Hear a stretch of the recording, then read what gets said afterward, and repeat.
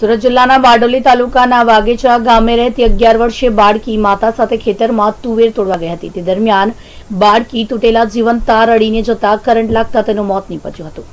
બારડોલી તાલુકાના વાગેચા ગામે ટેકરા ફળિયામાં રહેતા જયેશભાઈ સોમાભાઈ ડોડિયા પટેલ નાઓએ કાકી પાર- પાર્વતીબેન સાથે ભાગ્યામાં ખેતરમાં તુવેરનો પાક કરેલો હતો.